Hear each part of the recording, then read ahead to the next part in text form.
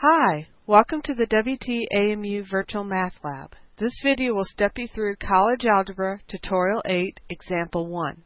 In this example, we want to find all the values of x that must be excluded from the domain for the rational expression x plus 5 over x squared plus 3x minus 4. Our restriction is that the denominator of a fraction can never be equal to zero. So to find what values we need to exclude, think of what value or values of x, if any, that would cause the denominator to be zero. Let's extract out the denominator and write x squared plus 3x minus 4. Next, we want to factor this, and when we do that, we're going to get x minus 1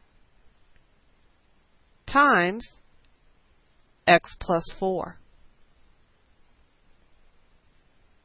The two values of x that would cause these factors to be 0 would be x equal 1 and x equal negative 4. Therefore, our final answer is 1 and negative 4 would have to be excluded from our domain.